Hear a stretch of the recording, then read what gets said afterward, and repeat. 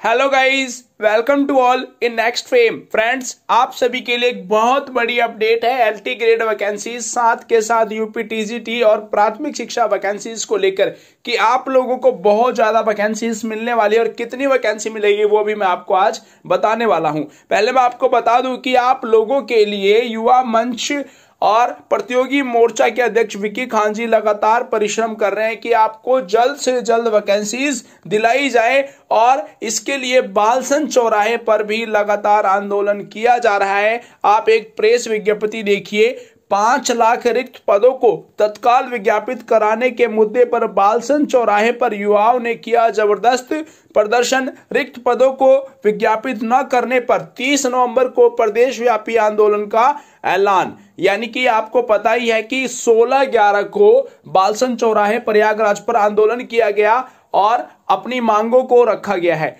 और यदि गवर्नमेंट इसको नहीं मानती है तो 30 नवंबर को प्रदेश में आंदोलन किया जाएगा।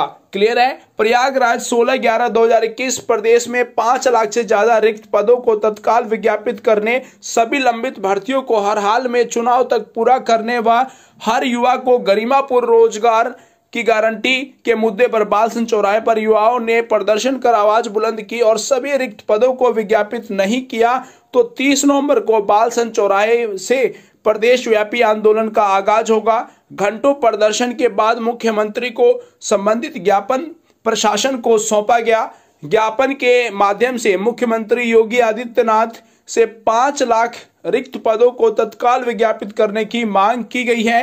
खास तौर पर सत्ताईस हज़ार टीजीटी, पीजीटी, वहीं बारह हज़ार एलटी ग्रेड और संतानवे हज़ार प्राथमिक शिक्षक भर्ती और बावन हज़ार पुलिस भर्ती के प्रस्तावित विज्ञापनों पर तत्काल नोटिफिकेशन जारी करे। तो गाइज़ आप लोगों को बता दें कि पहले ग्यारह हज़ार की ही बातें चल रही थी, अब बारह हज़ार वैकेंसीज की बात हो रही है एलटी ग्रेड की।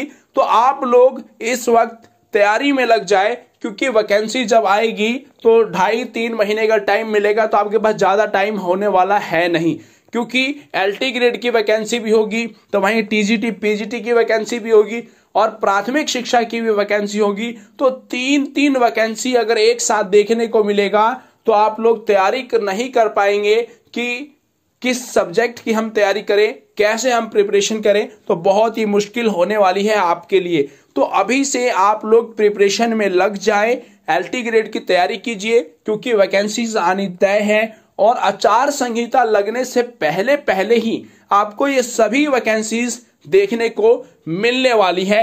तो आप लोग तैयारी कीजिए, क्योंकि इंतज़ार करना इस वक्त बेवकूफ़ी है। तैयारी कीजिए, कहते हैं, इंतज़ार करने वालों को उतना ही मिलता है जितना कोशिश करने वाले छोड़ जाते हैं। तो आप लोग कोशिश कीजिए और एग्ज़ाम की तैयारी कीजिए। एग्ज़ाम को क्रैक कीजिए, क्योंकि प्रतियोगी मोर्चा युवा मंच लगातार परिश्रम कर रहा है आपके लिए कि आपको वैकेंसीज दिलाई जाए। So guys best of luck share and subscribe next way आप हमारे चैनल पर भी अपने पेपर की तैयारी कर सकते हैं तो हमारे चैनल को ज़रूर सब्सक्राइब कर ले।